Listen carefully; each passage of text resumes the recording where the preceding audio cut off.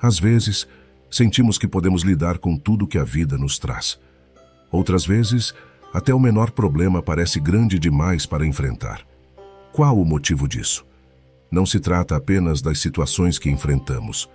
Muitos de nós já nos sentimos chateados com algo que normalmente não nos afetaria. Por outro lado, também podemos nos recuperar de grandes contratempos, considerando-os apenas uma parte normal da vida. A chave não são os eventos em si, mas sim a nossa força mental. Essa força nos ajuda a não nos deixarmos abater por pensamentos negativos, permitindo-nos navegar pelos altos e baixos da vida diária. Assim como a força física, a força mental é como um músculo que podemos fortalecer para melhorar nosso bem-estar geral. Algumas pessoas conseguem se recuperar rapidamente de falhas pessoais, enquanto outras acham mais difícil. Quando a vida te derruba, você se levanta e encara as coisas facilmente ou se sente realmente sobrecarregado, duvidando da sua capacidade de lidar com o desafio. Se você está no segundo grupo, não se preocupe. Existem oito hábitos do budismo para se tornar mentalmente forte e você pode aprender e melhorar sua resiliência mental através da prática, disciplina e trabalho duro. Nossa resiliência é frequentemente testada quando coisas inesperadas e ruins acontecem, como perder alguém querido, um emprego ou o fim de um relacionamento. Mas esses desafios também nos dão a chance de superá-los e nos tornarmos ainda mais fortes do que éramos antes. 1. Um, desenvolver habilidades. Construir força mental no budismo envolve desenvolver habilidades que aumentem a resiliência. Esse processo promove um senso de domínio e competência crucial durante momentos difíceis, além de aumentar a autoestima e as habilidades de resolução de problemas. As habilidades específicas a adquirir dependem do indivíduo. Por exemplo, aprimorar habilidades cognitivas, como memória de trabalho ou atenção seletiva, pode melhorar o funcionamento diário. Alternativamente, aprender novos hobbies por meio de abordagens baseadas na competência pode ser benéfico. Aprender habilidades em um ambiente de grupo oferece vantagens adicionais, como apoio social, que nutre ainda mais a resiliência na busca da força mental. A abordagem budista para o desenvolvimento de habilidades vai além do entendimento convencional de adquirir expertise ou conhecimento. Ela mergulha na cultivação de virtudes e qualidades que contribuem para um caráter resiliente e bem arredondado. A base do desenvolvimento de habilidades no budismo está na prática da atenção plena. A atenção plena não é apenas uma técnica, é uma maneira de estar completamente presente em cada momento. Ao aprimorar essa habilidade, você traz uma consciência elevada para seus pensamentos, emoções e ações, criando uma mudança profunda em como você navega pelos intrincados cenários da sua mente. A atenção plena no contexto budista é mais do que uma ferramenta de redução do estresse. É a porta de entrada para o autocontrole. A prática envolve prestar atenção deliberada ao momento presente sem julgamento. Através da meditação da atenção plena, você desenvolve uma consciência aguda de seus pensamentos e emoções, permitindo que você responda a eles com clareza e intenção. A atenção plena também se estende às suas atividades diárias, seja comendo, caminhando ou realizando tarefas rotineiras. A prática de estar completamente presente no momento aprimora sua consciência geral. Essa consciência elevada se torna uma ferramenta poderosa para entender os padrões da sua mente e se libertar das reações habituais. No budismo, o desenvolvimento da força mental é inseparável da cultivação da compaixão. A compaixão não é apenas a simpatia pelo sofrimento dos outros, é uma força ativa que o impulsiona a aliviar a dor daqueles ao seu redor. Ao estender a compaixão a si mesmo e aos outros, você cria um reservatório de força interior que pode resistir aos desafios da vida. A prática da meditação de bondade amorosa, um aspecto fundamental dos ensinamentos budistas, envolve gerar sentimentos de benevolência e compaixão consigo mesmo e com os outros. Essa prática não apenas promove um senso de interconexão, mas também fortalece sua capacidade de responder às dificuldades com um coração compassivo. 2. Equanimidade uma qualidade frequentemente enfatizada nos ensinamentos budistas é a capacidade de manter estabilidade interna e paz diante dos altos e baixos da vida. Desenvolver equanimidade não significa se tornar indiferente ao mundo. Envolve cultivar uma mente equilibrada e constante que possa navegar pelas flutuações inevitáveis da vida com graça. Práticas meditativas, como vipassana ou meditação da visão profunda, desempenham um papel significativo no desenvolvimento da equanimidade. Através dessas práticas, você observa a impermanência das sensações, pensamentos e emoções, aprendendo gradualmente a se desapegar de sua natureza transitória. Esse desapego se torna uma fonte de força, permitindo que você enfrente desafios sem ser dominado por eles.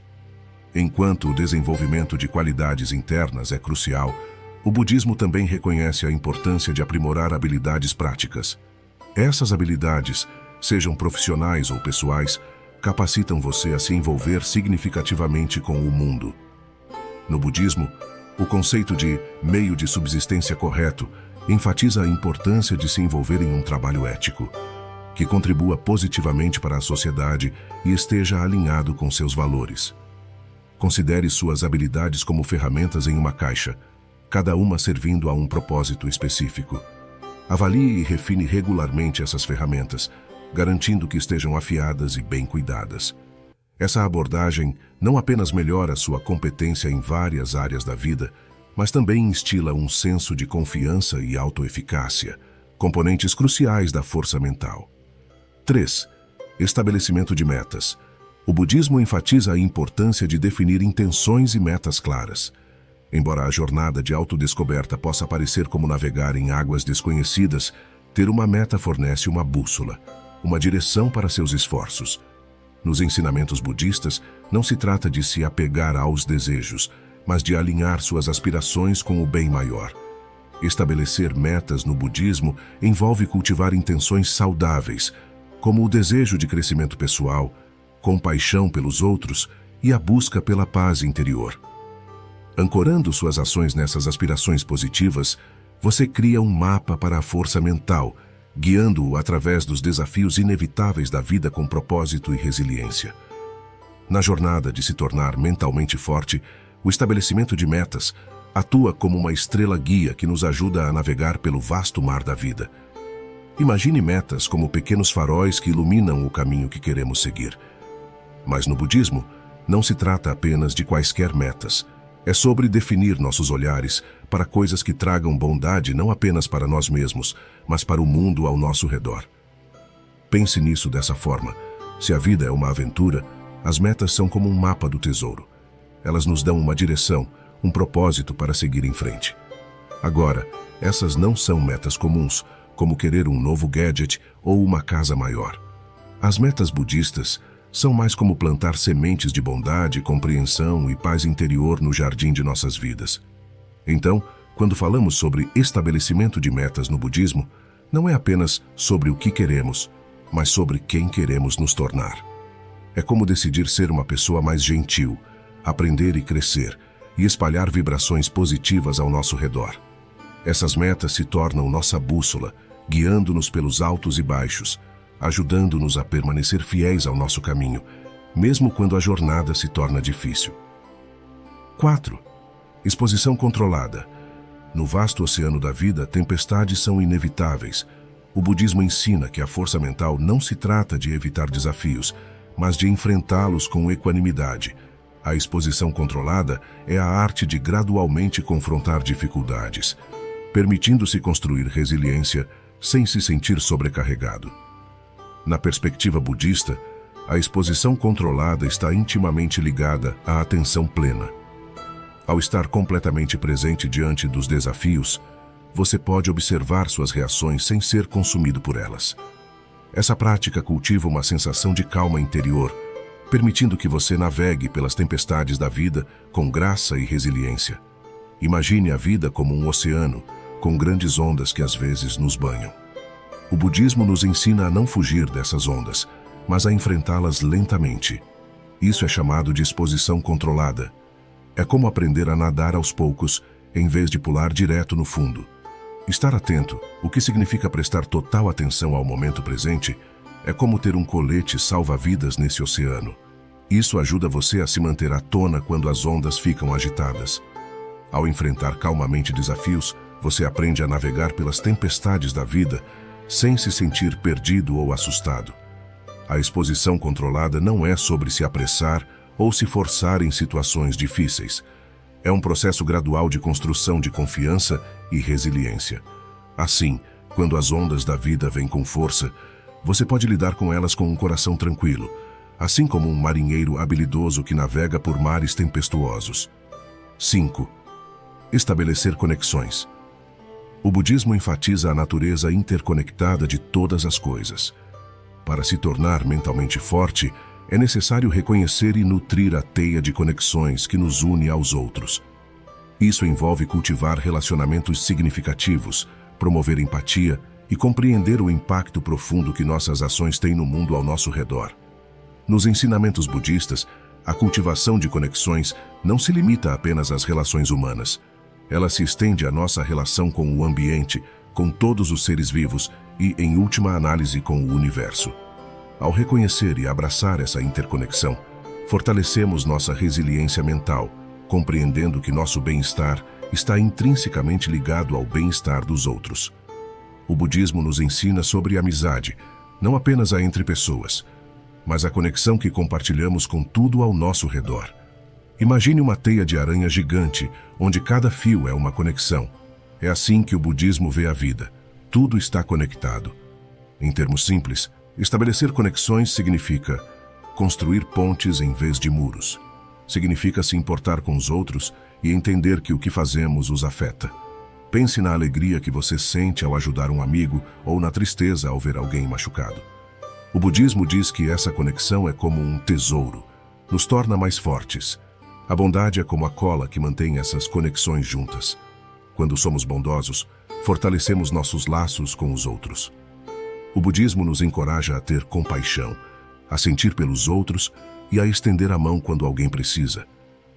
Essa bondade não apenas os ajuda, mas também fortalece e alegra nossos corações. As conexões não se limitam apenas às pessoas. O budismo nos ensina a ver a natureza como nossa amiga. As árvores, os animais e todo o mundo ao nosso redor são parte dessa grande teia. Quando cuidamos da natureza, cuidamos de nós mesmos também. Essa conexão com a terra é vital para nossa força mental. Você já se sentiu sozinho ou triste? O budismo acredita que esse sentimento vem quando esquecemos nossas conexões. Ao lembrarmos que fazemos parte dessa grande e bela teia, a solidão desaparece. Percebemos que não estamos sozinhos, estamos conectados a tudo e a todos. Imagine jogar uma pedra em um lago, os círculos se espalham em todas as direções. Nossas ações são como essa pedra. Quando criamos boas conexões, os círculos da bondade se espalham. Outros veem, sentem e talvez comecem a ser gentis também. É como uma reação em cadeia de bondade. Imagine seu prédio favorito. Ele se mantém firme porque tem uma base sólida. Estabelecer conexões é como construir essa base para a sua vida. Quando os desafios chegam e os ventos sopram, um edifício com uma base sólida permanece forte. Da mesma forma, uma vida construída em boas conexões pode resistir às tempestades da dificuldade. 6. Evitar ver crises como problemas insuperáveis. Em face da adversidade, o budismo ensina a importância de manter uma resiliência equilibrada, vendo-as como oportunidades para autodescoberta e evolução. Às vezes, a vida nos lança situações difíceis. É como enfrentar grandes problemas ou passar por momentos realmente difíceis. O budismo nos ensina algo legal. Como olhamos para esses tempos difíceis importa. Imagine jogar um jogo. Se você acha que o jogo é muito difícil, pode desistir. Mas e se você o encarar como uma chance de se tornar melhor nele? O budismo é um pouco como usar esses óculos positivos ao enfrentar desafios na vida. Em vez de se sentir sobrecarregado, os ensinamentos sobre impermanência nos guiam para entender que se apegar ao passado ou temer o futuro só leva ao sofrimento. Ao aceitar a natureza sempre mutável da vida, você cultiva uma força mental resiliente diante das incertezas. Essa aceitação permite que você navegue na maré da vida com equanimidade. A vida é como um rio, sempre fluindo e mudando. No budismo, dizem que tudo é impermanente, o que significa que nada permanece o mesmo para sempre. Pense nas estações do ano. O verão se transforma em outono, As flores desabrocham e depois murcham. Quando resistimos à mudança e tentamos controlar o que não podemos, acabamos frustrados. Mas quando vamos com o fluxo, descobrimos uma espécie de liberdade. Assim, na jornada para ser mentalmente forte, abrace a ideia de que a mudança é uma parte natural da vida. Seja como uma folha flutuando rio abaixo, seguindo a correnteza em vez de lutar contra ela. 7. Tomar ações decisivas. Imagine que você tem uma grande caixa de brinquedos, não pode brincar com todos de uma vez, certo? Então você escolhe os que mais gosta. A vida é um pouco assim, você faz escolhas sobre o que ama, o que te faz rir ou no que é realmente bom. Isso é como um tesouro. A meditação, que é como um treinamento de super-herói para a sua mente, ajuda a encontrar esse tesouro. Não se trata de encontrar ouro ou diamantes, mas de descobrir o ouro e os diamantes dentro de você.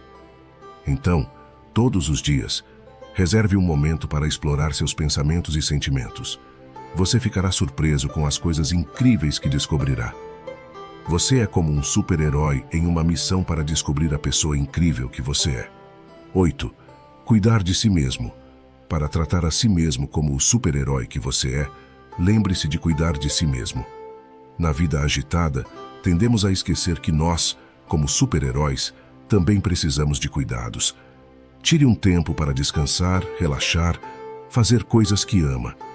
Isso não é egoísmo, é uma maneira de recarregar suas energias para que você possa continuar sendo incrível. Então, cuide de si mesmo, porque você é o super-herói da sua própria história. O budismo oferece esses oito hábitos para construir força mental. São como ferramentas que podem ajudar a fortalecer sua mente e coração. Ao praticar esses ensinamentos, você pode descobrir uma nova perspectiva sobre a vida e uma força interior que o ajudará a enfrentar os altos e baixos com mais calma e compreensão.